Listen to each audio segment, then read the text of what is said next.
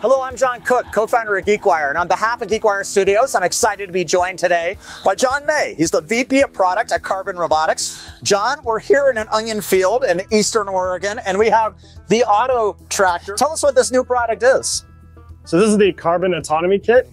It's running on John Deere 6Rs, running laser weeders through this field. We're currently laser weeding all the uh, weeds in this onion field. So John, we just saw the auto tractor turn and now it's coming back towards us. Talk about the technology that allowed that to happen. When we're in the row, we're following the furrow, this little ditch here between the, the beds. We follow that with AI. Once it gets to the end of the field, it knows where it's at and that's exiting the field based on a geofence that is free map for the field. What happens if uh, the auto tractor hits a rock or it, it malfunctions in the field? What does the farmer do in that instance? Yeah, I would say if something happened like a lightning strike damaged the kit, we're going to be out here within that next few hours and getting the grower back up and running. Support at Carbon is absolutely world class. We hear it time and time again from our, our customers in the laser weeding space. We've built a trust with the growers that I think is a requirement for adopting autonomy, and we're really thankful to have that trust out. We're working with Carbon Robotics in their new autonomy program remote driving tractors to help minimize labor and increase efficiencies in our fields. So Brandon, one of the efficiencies you can gain here obviously is a labor efficiency. Can you talk a little bit about what that means for you here on the farm? It means a lot of things, you know, running the right speed, working 24 hours a day, seven days a week without having any sick time because tractors don't get sick. Um, we're hoping to mitigate some future expenses with labor rates by going autonomously on as many things as we can.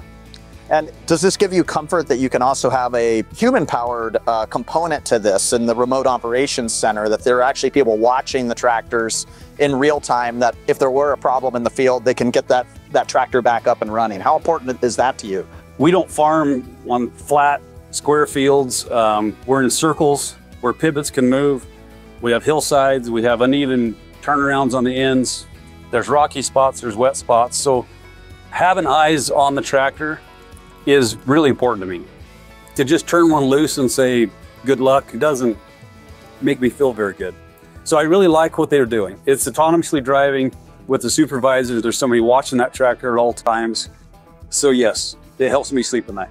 What do you see going forward about other potential activations that could happen beyond just laser weeding here? Well, we do a lot more than just laser weeding. This is just one step in our operation. Trying to kill the weeds is an important step. So this is where we have started.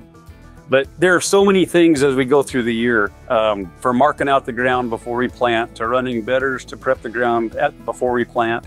And then after we've run the laser weeders and cultivated, we have harvest. So we have to layer onions out, we have to windrow them, we, we dam or dike. There's a lot of things that we do where I can see a place for autonomous driving.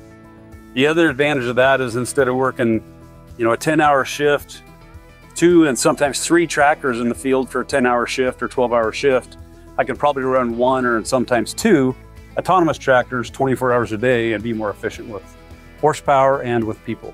So with the auto tractor being released here in 2025, do you have plans this year that you're going to use uh, the device for more than just uh, weeding this year? Yeah, I don't plan on shutting them off when we're done with the laser weeding. the plan is to, to keep, keep putting them in new situations uh, where we can test them and make them work in those situations so we can continue to grow our fleet of auto tractors. Right now we're running six Rs, so that's kind of a, a, size category, and we're in season. So this is one of the more difficult pieces of autonomy to do because you're in the field with the crop. You're not just running a disc or a chisel or whatever. So this could be used for running a smart sprayer or a smart cultivator or uh, something similar to that. And as VP of product and employee number one at Carbon Robotics, what gets you excited about this job? Spending as much time as I get to outdoors and talking to growers. Growers are just very straightforward and it's easy to get to the real answer. And what's next for you? I mean, you're kind of the innovation, the product guy.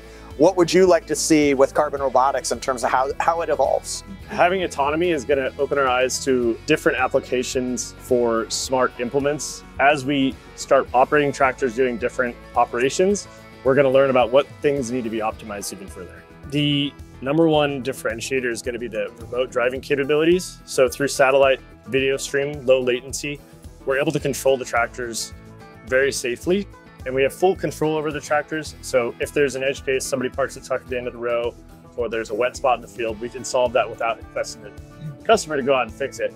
Um, growers are going to be super frustrated if they're having to constantly go and you know, tweak things in person. The point of this is to lighten their load.